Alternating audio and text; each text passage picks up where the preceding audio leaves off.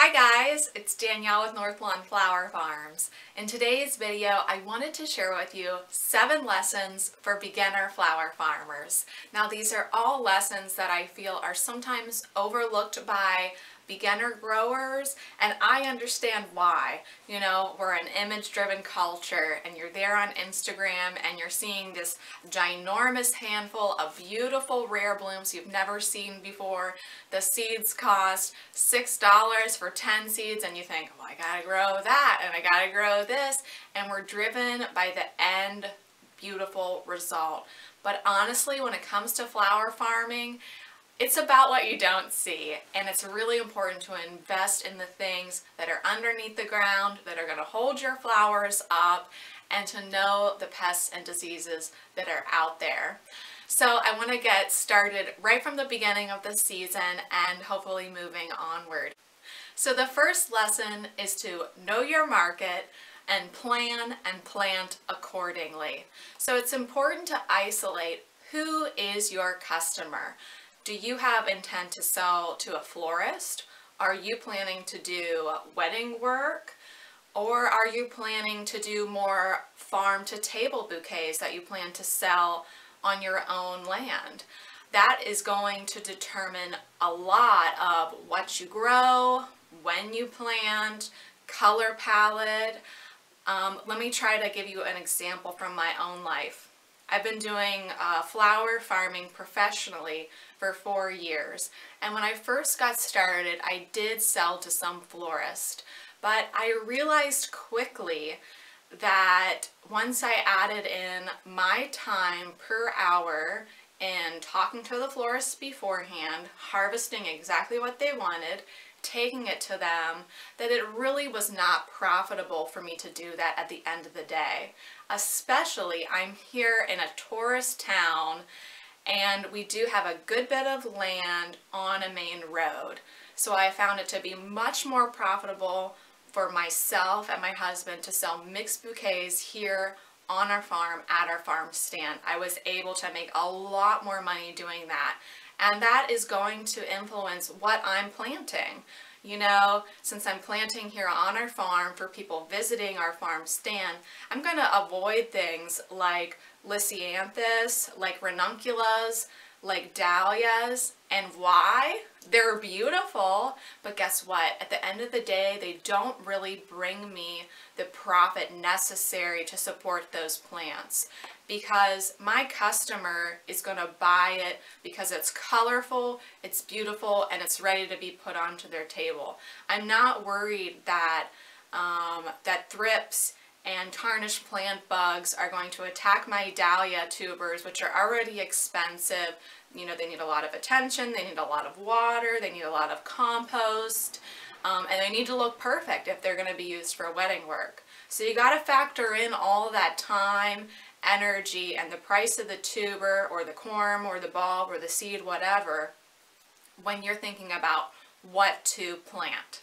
So I hope that was clear. Just know who's your end customer and make sure to plan and plant for that person. Because if I was doing wedding work or if I was still selling to florists, I would definitely make sure I had a, a lot of white, peach, and any kind of popular color that season in May, June, and July.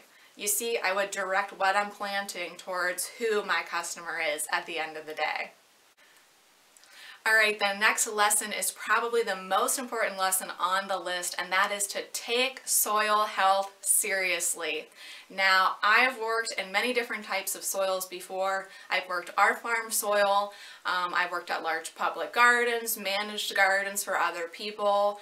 Soil is different everywhere you go, you know, even going from my farm to my neighbor's yard to one neighbor over that has a wildflower meadow, our soils are going to be drastically different. And I really am not going to know what's going on inside of that soil unless I have it tested. So please spend, you know, the $50 that it's going to cost to take samples of your soil and send it off to a lab um, send it off to your local extension office. You're able to tell them what you plan to grow in that soil, and then they're going to return to you the results of the missing nutrients in that soil. And they're going to tell you, you know, do you need to add lime? Do you need to add kelp? Do you need to add bone meal? That is such valuable information because if you're planting the soil year after year after year after year and you're not giving back into that soil where the roots are, that soil is going to get weaker and weaker and weaker and weaker. So you have to feed your soil. You have to take it seriously. Um, I add nutrients in the fall so that they can kind of mix in through the winter and in the spring. And then I normally top dress our beds with homemade compost in the spring, probably about a month before I'm going to plant into them. So I hope that part's helpful. Okay, next up is to invest in a good seed starting setup because we're starting all these things from seed. We want to take care of our investment, our seed investment. We want to start out with a good grow light system and we also want to make sure to provide them with some kind of underneath heat. Now I'm really fortunate here in our house, it's an older house and it has the taller radiators with radiator covers. So I'm able to set all my seedlings on the radiators to help them germinate to get that underneath heat. But if you don't find yourself with those radiators, I would invest in you know, a few heat mats to get you started, especially for anything that is a little bit harder to germinate. It's really nice to have that underground heat to get them started. And then of course, you know, as soon as they pop up, you want to stick them under lights. I still use shop lights. You know, I use one cool, one hot bulb. Um, it doesn't look pretty, but it works and it gives me really strong seedlings. Um, you know, I just talked to someone the other day that was saying, what's more important? Is it more important to provide underneath heat or shop lights? And it's important to provide both, honestly. I don't really feel that, at least here in zone 6B where I am in winter, I do not get enough light through my windows to provide the necessary lighting to grow strong, straight um, seedlings. I'm going to get really spindly, stretched seedlings if I don't provide them with light. Um, another issue that I see sometimes people who do use lights for the first time is that they hang them up too high away from the plants. If you're just using uh, T5s, T8s, T12 bulbs, one hot and one cold, you need to have that light two to three inches above your seedlings at all times. You're going to need to move that light, you know, up and down. But sometimes I see people hang the lights all the way up here and the seedlings are all the way down there. You want to get that seedling really strong. So go ahead, lower that light, you know, two to three inches above the highest seedling and move along. Move that uh, light up as your seedlings grow. The third lesson is to be sure to plant enough foliage and filler. Now the name of the game here, if you're making mixed bouquets, is to plant 50% foliage filler, 50% focal and supporting flowers. Because if you're making a mixed bouquet, but you've only grown about 10% foliage and filler, you're going to run out of that filler, especially if it's just an annual filler grown from seed. And then all of a sudden, you're left with maybe bunches of zinnias, larkspur, cosmos, snaps, whatever, it's going to be really hard to make a mixed arrangement without the necessary foliage and filler. And if you already have an established farm, you might have filler and foliage on your property that you can use, but just take that into consideration. Do I really have the 50% necessary to make mixed bouquets if that's what in fact you are creating? And of course, if you're growing by the stem to a florist, um, this is advice you can probably eliminate. Okay, next up I want to talk about the importance of supporting your flowers. And other than soil health, which I feel is number one, supporting your flowers when growing them for profit is so important. And I have seen entire flower fields completely decimated because the owner felt it was not that important to provide netting for all of their branching flowers and it was so disappointing and I know it's hard to invest in something like netting because it's not pretty and you think, oh, it's, it's going to be fine. They don't really need that. And if you've been gardening so many years, you think, oh, I've never netted zinnias before. I've never netted cosmos or snaps. but it's different when you are planting and planting a cutting garden. You need those stems to be straight in order for them to be usable and you need them to be strong. And because you're planting a mass of the same thing in that space, there's also a much greater chance of them falling over onto each other, therefore destroying an entire row or even an entire field. So please do take supporting your flowers seriously. Invest your money there also. Invest in the soil, invest in the support, and then I would actually invest in the seed third. And that's really the way that we should be doing it. We should be working from the ground up, right?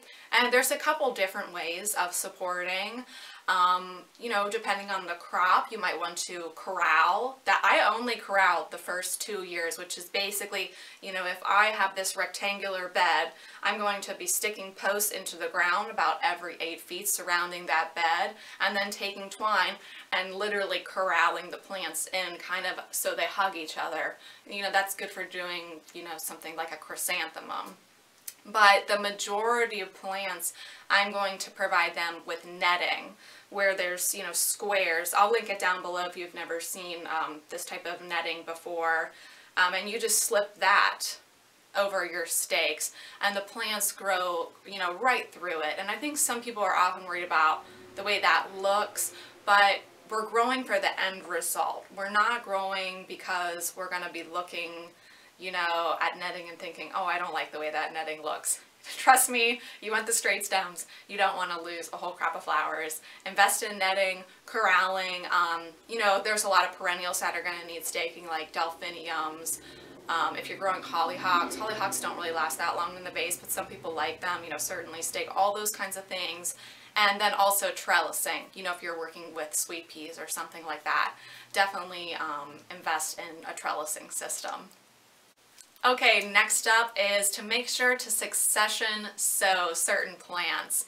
And this is really because we want to take advantage of the whole growing season. And some plants, like single stem sunflowers or gladiolas, they're giving us one flower.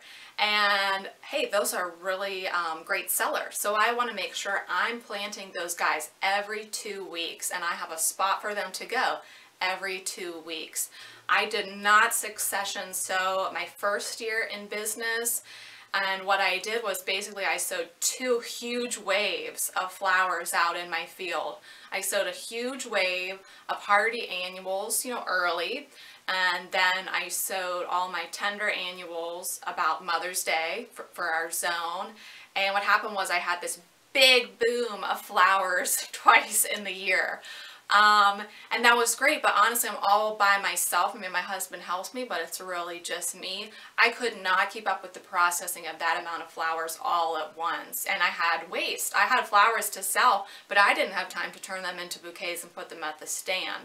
So what I've learned through the years is to just succession sow. Every two to three weeks, I always like to have something else going in, coming out, going in, coming out and definitely look at what are your most profitable flowers and if they are things that only produce one stem really have those cooking all through the season so that you take advantage of that money and you're not leaving anything on the table. So the last lesson is to just do your best to know your bugs, your animals, and your diseases to your particular area and to think about how you're going to combat them if they happen. Now, I'm here in an area where we are completely organic and we're a certified pollinator friendly garden, meaning I can't spray anything at all. And personally, if I can't kill it between my two fingers or snip it in half with my snips, it stays out there. That's just a personal decision. But you learn as you go along. What are the bugs that you have? What are the diseases that you have? Do you have any larger animal pressure? I used to live in Pittsburgh where there was just deer everywhere and people had to have electric fences around anything that the deer liked. I'm fortunate that we don't have deer here, but we have a lot of rabbits because we're right next to a wildflower meadow, which is wonderful.